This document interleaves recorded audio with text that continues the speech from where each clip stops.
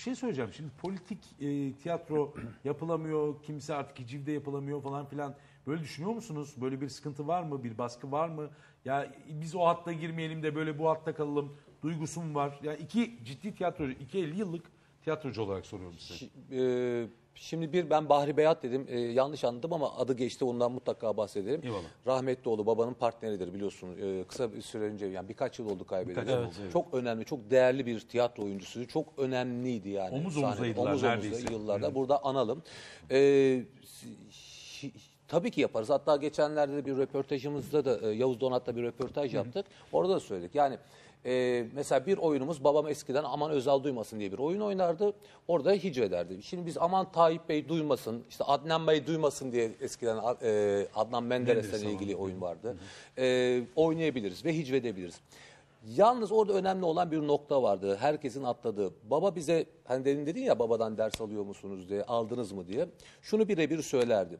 Oğlum e, istediğiniz kişiyi hicvedebilirsiniz. Eleştiri yapabilirsiniz ama hicvettiğiniz insanla yaptığınız espriye gülüyorsa o iş geçerlidir. E, yaptığınız espri gurur kırıyorsa çok belden aşağı yapıyorsanız o, o hicvettiğiniz insan değil o topluma da doğru bir espri olarak geçmez. E, bütün bunları oluşturabilecek bir tekst gelirse önümüze e, hiçbir şekilde e, yani yapmayız diye bir derdimiz yok. Biz de siyasi espriler yaptık ama şimdi ustalar tabii siyasi esprileri çok iyi yaptılar. Yıllarca yaptılar. O onların işi oldu.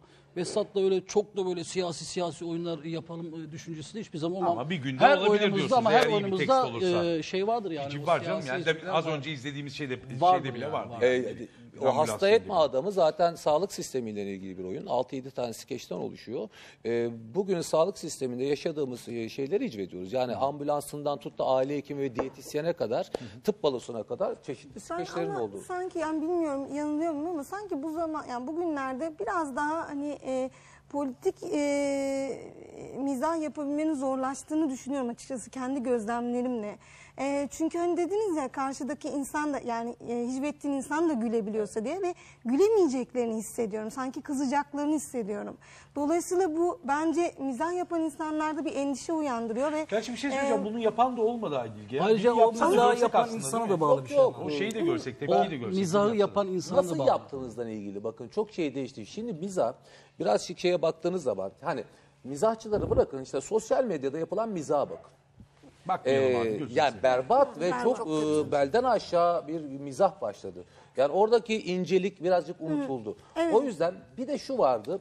Eski siyasiler e, hepsi bizim işte geleneksel Türk tiyatrosundaki gibi e, işte pası atan pişekar vardır mesela. E, buna çok yakın e, siyasiler vardı. Yani Süleyman Biri Demirel kavukluysa pası biri- attığında mizahçılar da bunun e, cevabını verirdi. Ya da Necmettin Erbakan Allah rahmet eylesin gibi şeyler var. Birazcık paslar az geliyor. Birazcık dünya da daha sertleşti. S- Sadece Türkiye değil. Dünya konjonktürde, politik konjonktürde. Çok sertleşti yani. Bunu mizah yaptığınız noktada e, çok şık olmayabilir diye düşünüyorsun. Diyelim ki gülmediler. Gülmezlerse bırakır mısınız peki? Döv- dövüyoruz. Hala- direkt.